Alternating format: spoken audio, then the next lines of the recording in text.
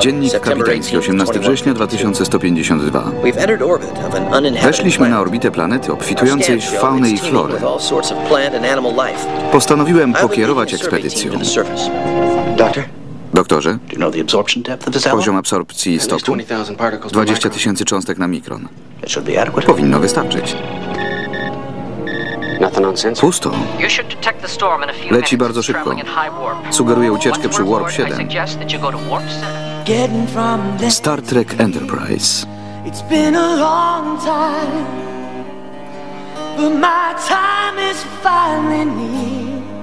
And I will see my dream come alive at last.